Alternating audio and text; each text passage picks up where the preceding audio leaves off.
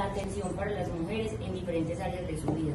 Nosotros buscamos la atención psicológica y la atención jurídica que hoy en día ya la tenemos. Nosotros tenemos esto eh, dentro de la administración, pero también queremos espacios abiertos donde ellos puedan tener salud sexual, salud reproductiva, que hoy no tenemos ese espacio.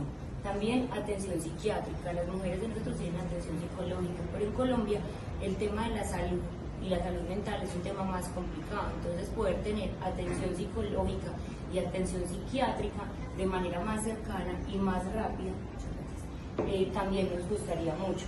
El tema de emprendimiento, Sabaneta es un municipio que se, se, cataloga mucho por el emprendimiento las mujeres de Sabaneta son muy, muy, muy emprendedoras. Entonces es un espacio donde se puedan capacitar porque siento que es lo que les falta.